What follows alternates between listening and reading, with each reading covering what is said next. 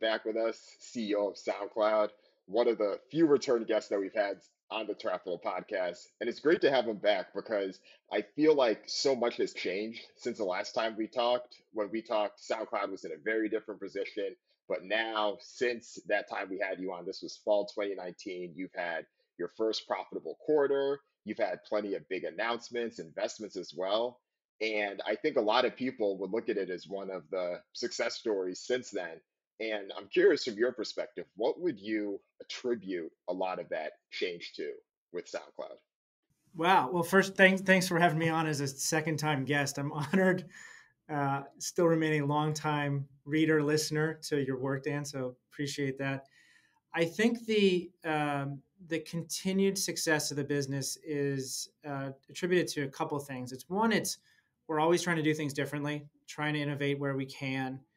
What we call what one of our sort of key tenants at SoundCloud is we try to lead what's next in music. So we're always thinking about what's what's coming around the corner and try to get ourselves there. And then the other one is really focusing on the artist, in particular the independent artist community. And that kind of gives us a path forward where so much of the change in the business is coming out of independent, self releasing musicians, uh, musicians doing it themselves, and, and really sort of doubling down on SoundCloud's differentiator, which is the independent artist community. Awesome. Yeah, I feel like from my perspective, that independent artist piece has just what's been growing so much in the music industry.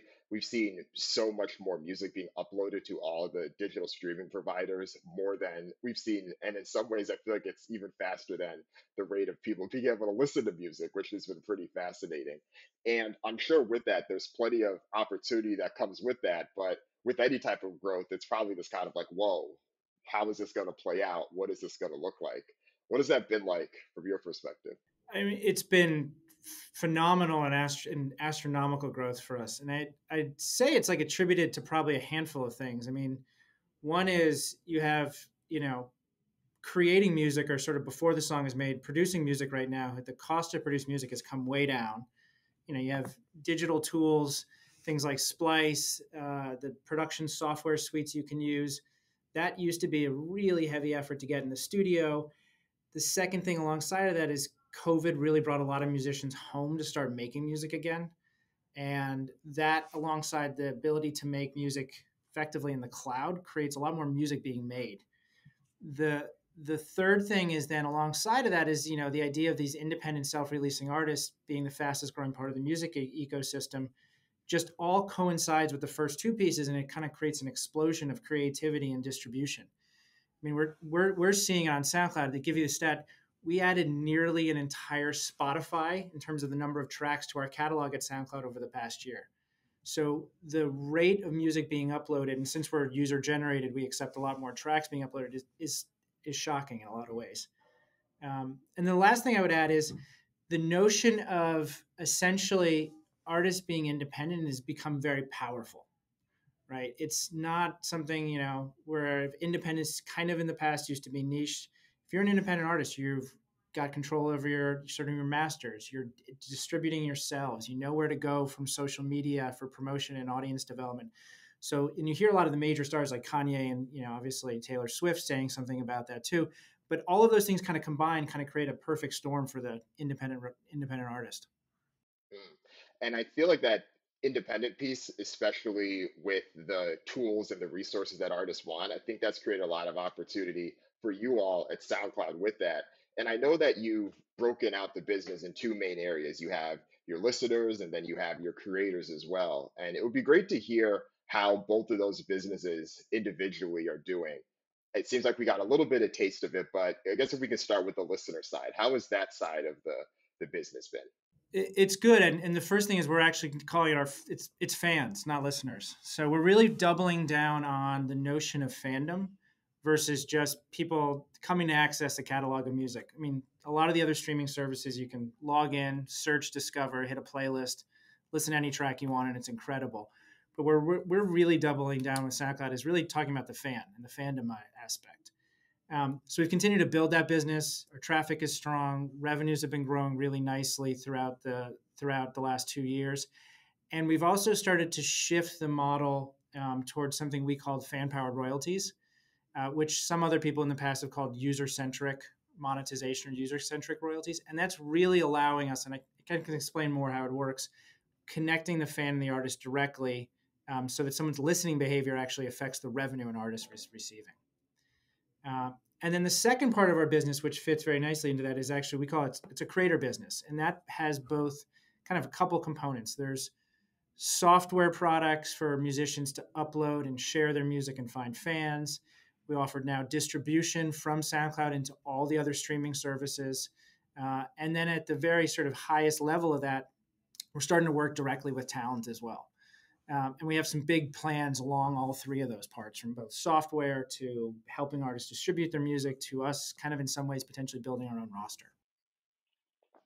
Let's go back to the the fan piece for a second because I think the fan powered royalties was a really big announcement that you all had. And yeah, as you mentioned, some people call it user centric. And for folks listening, I think that the most basic way is knowing that a lot of people almost mistakenly had the assumption that artists and the revenue that they were getting from streaming if you listen to an artist you were more you were paying them directly based on the amount you consume but it really wasn't that way for a majority of it you all decided to do that and i think the main focus of that has been to let's serve the artists themselves especially if you are supporting an independent artist or you're supporting someone that isn't yeah. just part of the mainstream cog it's more likely to benefit them and you had some examples about how it did benefit those artists. And I guess it'd be great to hear what some of those insights are, or if there's any key learnings for the months so far that you've had that, because I think that's one of the things that could help solve some of the challenges that indie artists have felt in the streaming era. Right. So, and, and you know, sort of the basics are so we have fan powered royalties turned on for, let's say, a large portion of our of our creators, not everyone. So major labels, a lot of independent labels are not yet participating. But for artists that are that we have in our program, um, we're able to directly connect someone's listening to their revenue participation. And you, you'd assume most streaming services work this way, but they don't. It's actually complicated formulas and correlating information and listening time share. And, and so it's actually becomes less directly connected. So we made that connection so it's a direct stream between what I listen to when I listen to an artist, my money goes to that artist. Um, what are you know we launched this in April, so we have about four or five, actually about four months of information on it so far, and our initial thinking on how it would work is actually holding really true. And the the main thesis is any artist has you know people who come to listen to their music and want to discover that artist. They've also got people who come in by and listen to their music through a playlist or through a recommendation, but they don't really know that artist yet and then you've got fans. And the fans are the ones that are unable to really contribute to an artist today directly. And so the way our model works is actually shifts the royalties into more and more artists with deeper fan bases. So to give you a few stats, when we're looking at the payouts that we're making on the fan powered royalty basis, 80% of the payouts are coming from about 20% of the fans. And so you're able to now actually see, if you're an artist and you're logged in, you're able to soon see, like, oh, I know who those 20% are. Those are my true fans. The other folks are just kind of experimenting or listening to my music a little bit. Mm, that makes sense. And I think that for artists who, let's say that they were probably using or relying on another platform, if they're seeing those stats, I would assume that that would probably help you then attract more artists, and then that in turn can then attract their fans too. Yeah, I mean, we've seen gen on average. I mean, there's even more powerful stats. On average, you know, artists that are participating are seeing 55% lift in their revenue overall. So a massive uptick in revenue. Um, we've seen about, and we've seen artists about 25% lift in overall number of artists participating since we announced it too. So we're seeing more artists come in, and each incremental artist makes more money. Um, and and it really does work if you've got a dedicated fan base. I mean, I the one of the things that always sort of one of the key things that kind of irks me about streaming right now is if I'm a fan and I want to spend fifty dollars on listening to either Dan's music, I can't. I'm not going to go buy Amazon and Apple and Spotify. Um, and so you're kind of limited because no one they're all sort of complementary services but if i have money to spend uh, i should be able to participate with that artist now i can buy merch or things but it's not directly around the music itself And so we're trying to flip that on its head and actually say there's a pathway for those fans to really engage directly with that artist. Mm. And let's talk a little bit more about that pathway because I feel like this is a stepping stone to that in a lot of ways. Artists have so much power in all of the things that they can do through monetization. I think we've seen that in the highest levels with whether it's an artist like a Kanye or Rihanna or Jay Z, what they've been able to do. But I think that reality is true for many other artists that aren't even at their level either. So I feel like in a lot of ways, the fan powered royalties is a step towards what could it further look like in terms of the artist stack or the artist suite of services and things that they offer and how SoundCloud could potentially be a platform for something like that. Yeah, exactly. It, it is a hundred percent a stepping stone. So when now you know if you've got a thousand people who listen to your music and a hundred of them are fans, we can give you the information to say, I, who are those hundred fans I have? Oh, wait a minute. I know who those hundred fans are. I can now speak to them directly. And if I can speak to them directly, maybe I can get paid by them directly. And then that opens up a whole new sort of way that artists and fans can engage. Um, and it then, you know, ultimately leads you down into, you know, Web three and blockchain and all the things that you're sort of able to sort of create once you have that that direct connection. And and that's why it becomes a stepping stone. It also allows the artist to really market differently too. You know, most artists right now are putting on pre-save links through, you know, listen to my track when it comes out on on Spotify, trying to get yourself into a playlist but if I know I can point towards a service or towards services that that have a direct fan base, and I know who those fans are, and they're going to listen to me, and I know how to engage them, changes the dynamic direct, you know, differently too. Mm. And this is something that I think we've seen a lot in gaming as well. Just some of the dynamics you see there in terms of how popular gamers connected with their fans, whether they're using Twitch and things like that. And it feels like music is getting to that same point. It's ironic because I feel like music most times leads the way in so many things, but now it's following another industry. But I think a lot of that is true because, yeah, gaming, Web3, NFTs, and a lot of the platforms now, that is what the evolution of this looks like. I think that there are some artists that are doing some cool things there. The cool the, the question I have for you though, because it's something you mentioned earlier, it seems like I understand the pathway for what it looks like for indie artists, but you mentioned that some of the major labels haven't necessarily came on board with it yet. What do you think that is? Is there a hesitation there, or has there just been more adoption from indie artists so far? Well, I think it's one is it's it's a different system. So anything different, you have to sort of make sure you prove out that it works. Um, we're doing so. We've had various conversations with major labels, large independent labels, um, very healthy conversations. But anytime you introduce something new into a established industry, there's you know initially met with either interest or skepticism. We've kind of been met with both. Now, we're able to do it because, unlike other streaming services, we have a unique base of artists that we have a direct relationship with. But over time, we are we're definitely eager to expand this because you know it doesn't really matter in a lot of ways whether you're an independent artist or you're Kanye or you're Drake releasing a track. If Drake could know who is true one mil, I mean, for Drake, it's probably millions of really big fans. But if he could know them and have a direct relationship closer to them, that's that's really powerful. Yeah, I agree. I mean, you even look at his numbers. I I know that a lot of these Billboard numbers are backed in from streaming, but thinking his last album was like six, like six hundred, thousand for a certified lover boy. If there's a way to be able to track, okay, who are those people that fed into that, then he just has a lot more power. We just haven't seen that necessarily, but I think that's what the next option there could look like. Um, one more question for you on the fan powered yeah. royalty piece, though. Um, because I know that this has been something talked about by some of the other DSPs, and it seems as if some of them had concerns about it because of the cost related to administer something like this. How has that been from your perspective? How has it been from a cost perspective, and you know what does the cost benefit look like in terms of managing fan powered royalties? It's the same expense for us as doing anything else. I honestly, I think either we built it better than everyone, or someone's not telling the truth because we've really seen this be you know as a cost effective and simple to calculate in a lot of ways actually just as easy i mean we we're able to tell you know i know if you i know if you had a user account i could tell that you listen to my music should be able to connect the revenue to those two things. So yeah, I think others have had challenges to do this technically. Uh, I give kudos to our to our engineering and our product teams and our, our royalty teams who built it for SoundCloud. But yeah, we haven't seen any sort of uptick in expenses, and um, challenge anyone to see why it really has to be that way. Mm. That's an interesting point. Yeah, because I remember that was one of the big challenges you kept hearing, and then when you all launched it, everyone was asking you that question. So it's good to hear that that isn't the case. It's good to hear that isn't the case. No. It'd be good to hear, and let's it'd be good to talk a little bit more about the Web three piece of this and just where that future looks like for SoundCloud. What are you envisioning? What does that roadmap look like for how you can serve a lot of these artists?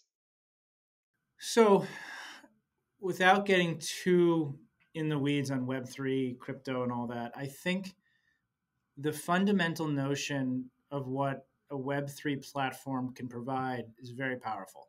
I mean, the fact that both the artist participating and the fan participating have a have really a direct in a lot of ways potential ownership stake in that in the outcome of that success of that platform that's incredibly powerful and something we'd love to explore Two is the one of the the things that I think music has is that as a fan, I want to show to other fans how much of a fan I am.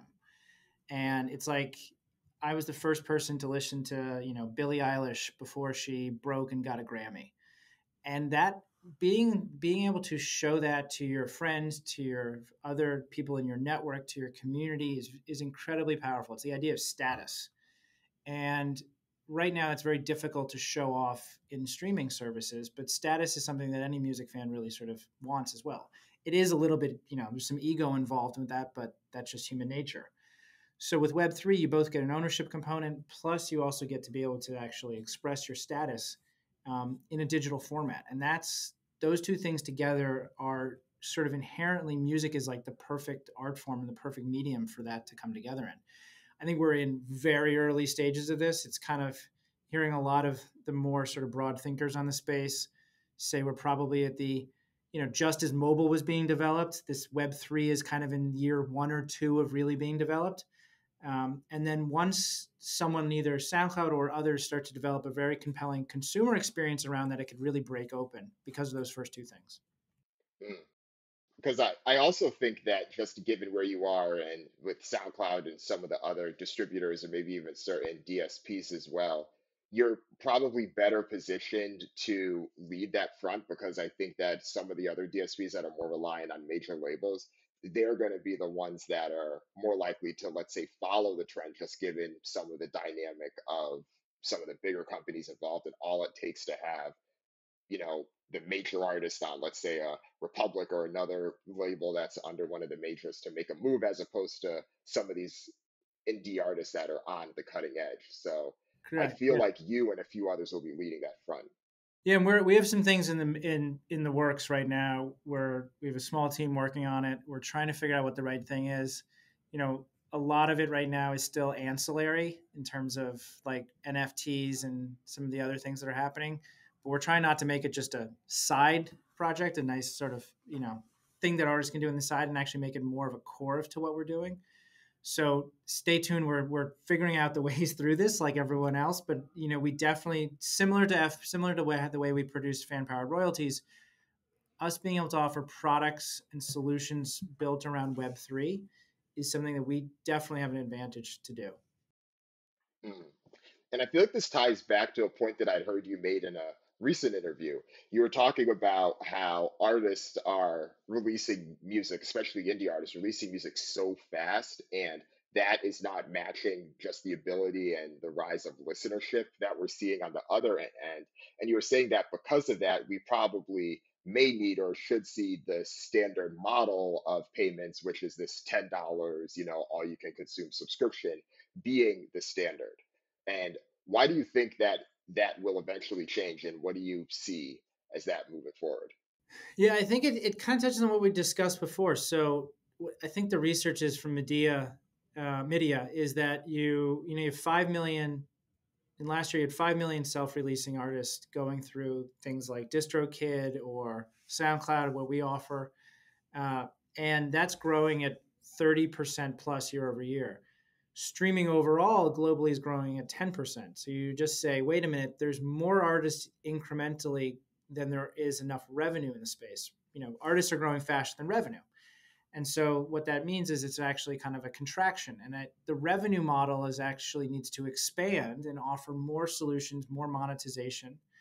You know, everything from ad supported to subscription to various forms of transactions because without that you're actually constraining the growth of the industry. And so a lot of things we're doing is, you know, I think back to your point you just made is like gaming is a great example of this. You go into Fortnite and you can buy everything and there's all sorts of ways to add skins and worlds and all of those different components and it's not a one size fits all model today in music i think it's still too much of a one size fits all model the industry's back to growth and it's been fantastic to see music be one of the fastest growing parts of entertainment but there's a next evolution that i think we're just on the early stages of crossing into yeah that's a good point because it makes me think overall just about not even just the price that the current DSP model set up, but also just the mentality of how it's spread. I think that this $10 subscription, it's in this way where the DSPs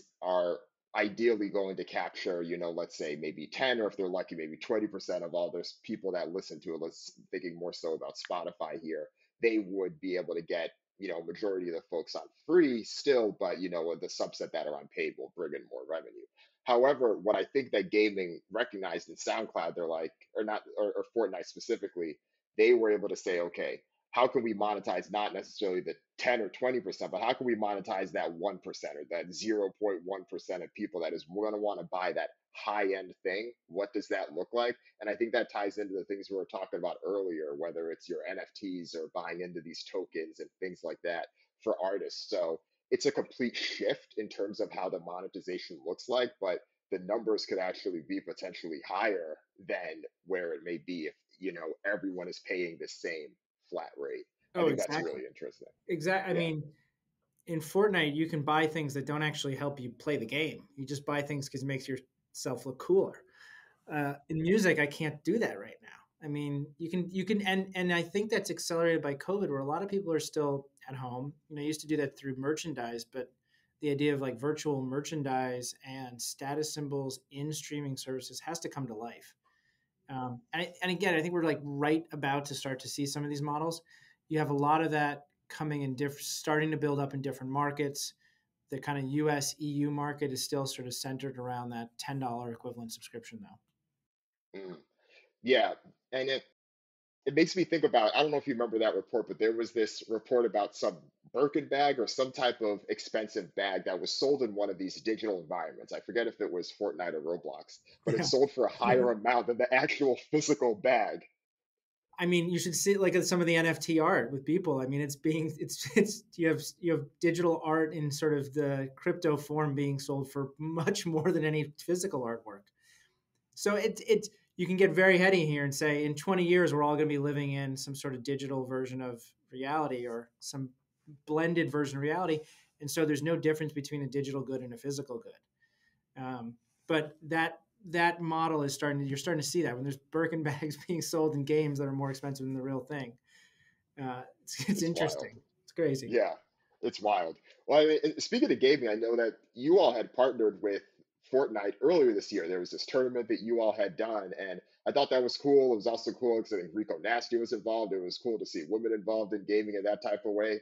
And I feel like that's pro- that has to just be the point. You all probably have future moves specifically in gaming in some of these environments as well. Yeah, we're doing we're doing more. I mean, we're one of the big areas of, of focus for us is how to how to enable SoundCloud within gaming environments. Also, just to help artists, you know, mo- a lot of most artists and most of fans on who use SoundCloud today are are gamers, uh, and so there's just a huge overlap. Um, and a lot of those times, people are playing games or listening to music too. It doesn't, you know, can't. It's not either or. It's a lot of and. Yeah, and so earlier this year, um, we decided we partnered with Fortnite. We built a custom SoundCloud world in conjunction with them. We had eight musicians go head to head in a Fortnite battle, hosted by Rico Nasty, who also did a performance, and we live streamed it on Twitch. and we actually, I think at that night we were the, I think we were the number one non-gaming uh, live stream on Twitch that night. So we actually hit some pretty big numbers in terms of the audience, and and we're going to do more things like that. Both bring artists together in gaming and put SoundCloud into gaming environments because that's where people are consuming now. It's not always just in a you know streaming app. It's in it's in different places, and as more as we said, as more of the world becomes this kind of digital metaverse, to say cliche word right now.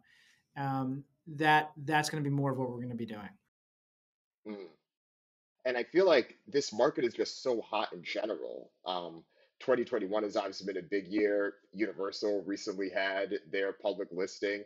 This market is just so hot in so many ways, and I feel like that's probably expanding things beyond. Are there any areas that we haven't talked about yet? I know we covered gaming and Web3, but are there any other emerging areas that you're like, oh yeah, no, this is something that we're gonna tap into. Definitely, something we're going to. I think into.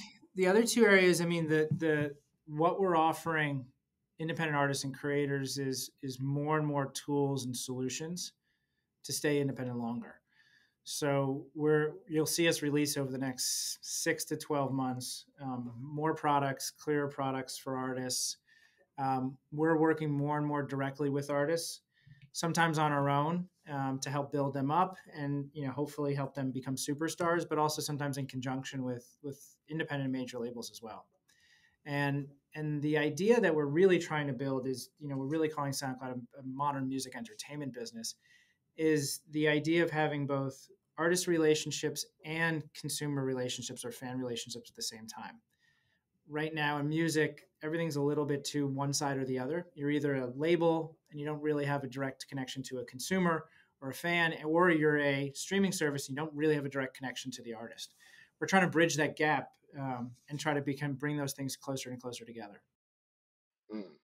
I like how you mentioned the the music entertainment piece because I was going to ask you about that. I know that you had mentioned that at least for SoundCloud, you wanted to stay focused on music specifically, and that there were other uh, digital streaming providers that have got, looked and focused in non-music audio.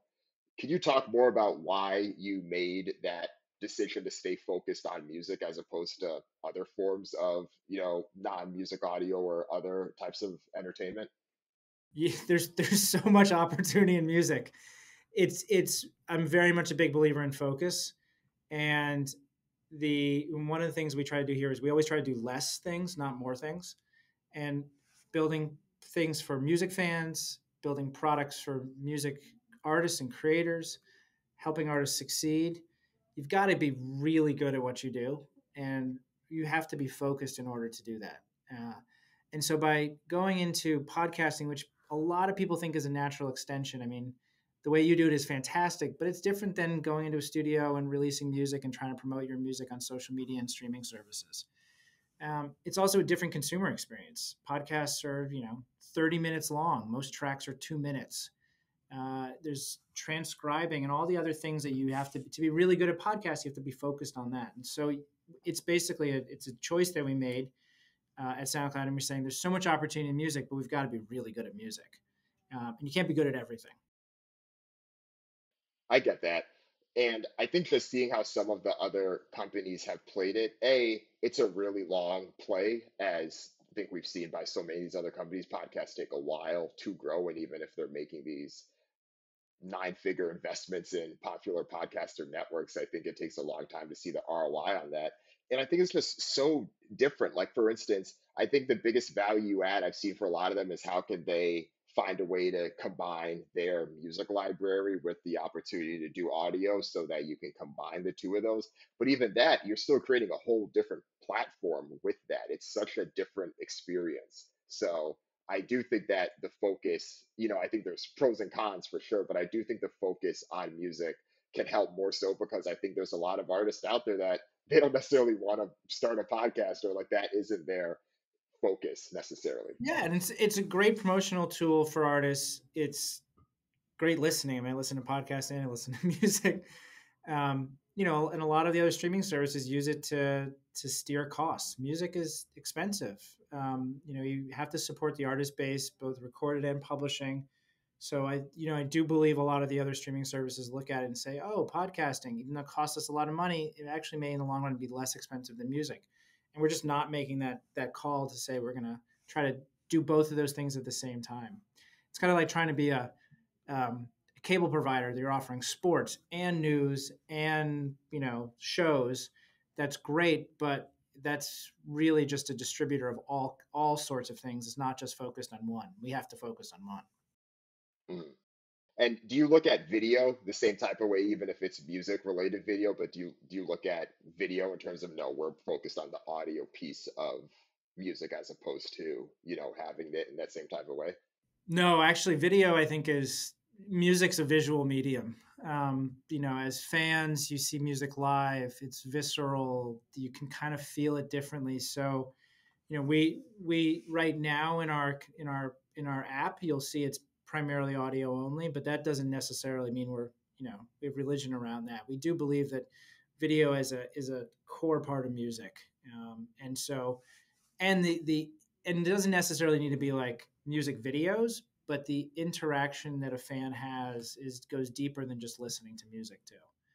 Um, and so many musicians right now, they're they're visual aesthetic, they're creative, they're doing things outside of just the track, listening to the track. There's that you really need to feel and see to actually get understanding with that artist. Mm, that makes sense. That makes sense.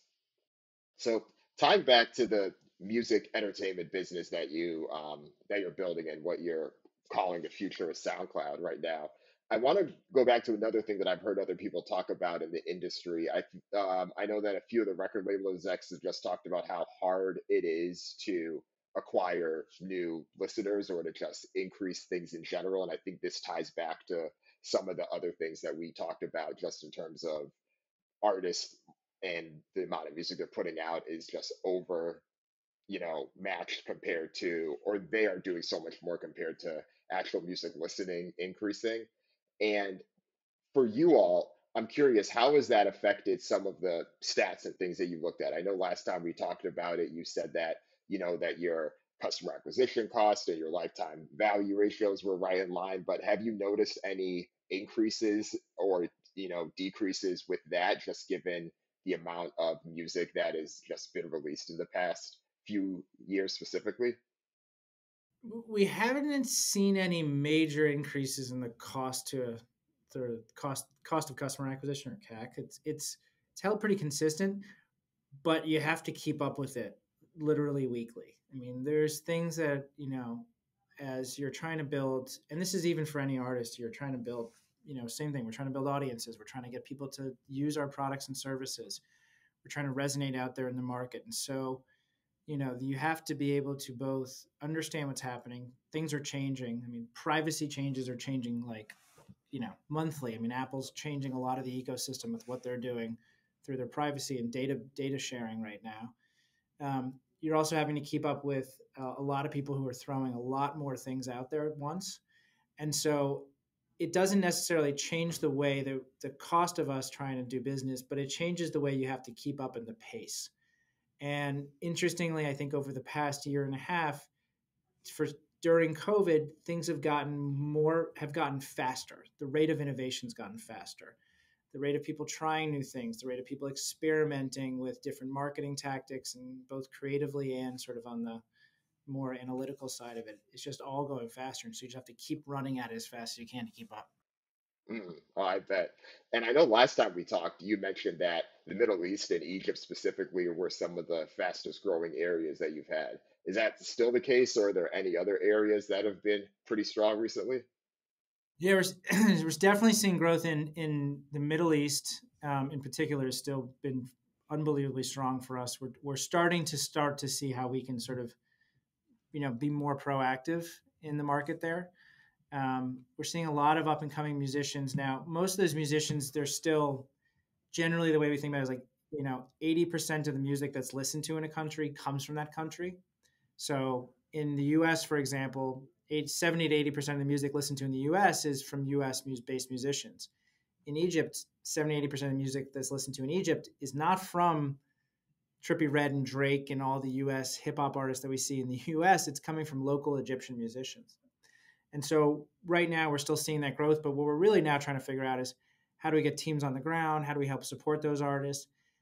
you know the music ecosystem works differently in different markets and so we're trying to understand how we can take that to our advantage we're also seeing growth in brazil latin america and, and southeast asia so uh, a lot of the same trends that are happening in, in the us and the eu are translating over there as well Mm, that makes sense.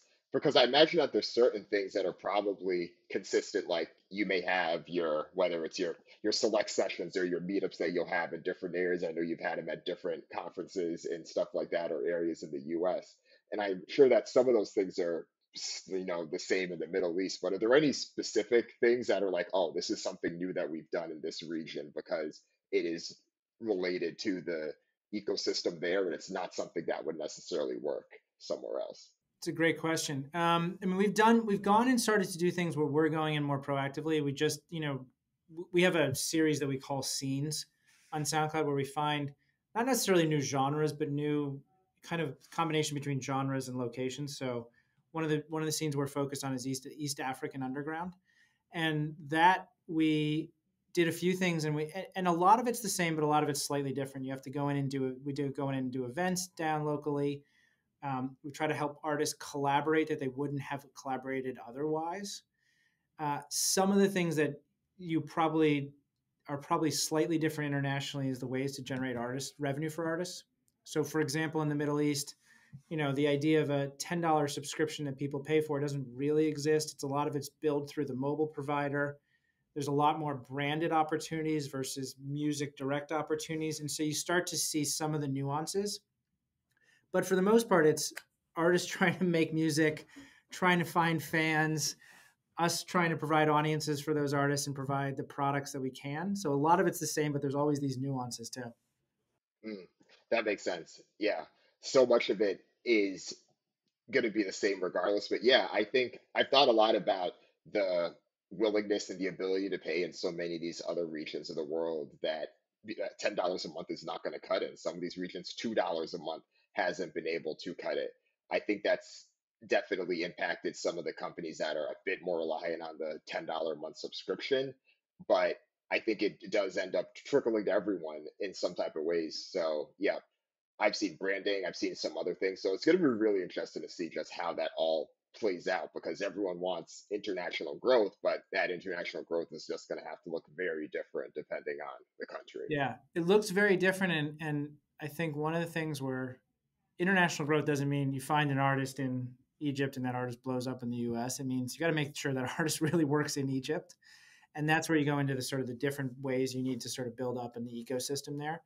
Um, in a lot of these markets, there also isn't the established label ecosystem too. So the idea of it being an independent artist is kind of for a lot of people, it's the only way forward. You may not have a Republic or an Interscope or a, you know, knocking at your door to sign a big deal because there just isn't the, there aren't those labels now a lot of the major labels and others are starting to put in infrastructure um, but it's still very early days Mm, that makes sense. Yeah, no, I've seen a lot of that too. All right, well, we're getting to the tail end, but before we let you go, one of the things that you had mentioned on our last interview was how you had seen SoundCloud as a accelerator, if you will, somewhere in that seed or Series A stage for an artist, and then you know they can accelerate on to some of the things they've done. But I feel like before we had that con or since we've had that conversation, we've seen so much about the creator economy and things just expanding. And I have to imagine that some of that's probably expanded as well, where this isn't just an accelerator. This is probably a place where people can stay and it can accelerate your career, but just given everything that we've seen in terms of artists being able to sustain and do what they've done, they can continue to find a home for that. And that's what I've seen. What are your what are your thoughts?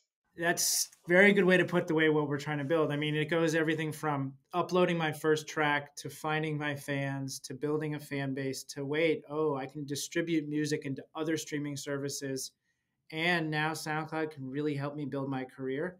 Yeah, it's in a lot of ways we're trying to be the home base for that artist to build out their career.